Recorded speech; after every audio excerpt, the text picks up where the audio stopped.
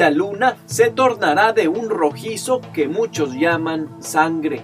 Este 15 de abril ocurrirá el eclipse lunar. Por ahí de los 30 primeros minutos del martes comienza a cubrirse de la sombra de la Tierra y 78 minutos después se cubre total y la refracción de los rayos solares le dan el tono rojizo. En el planetario Alfa existe un club de astrónomos. Suelen juntarse a observar estos fenómenos que ocurren hasta tres veces al año, lunares y solares.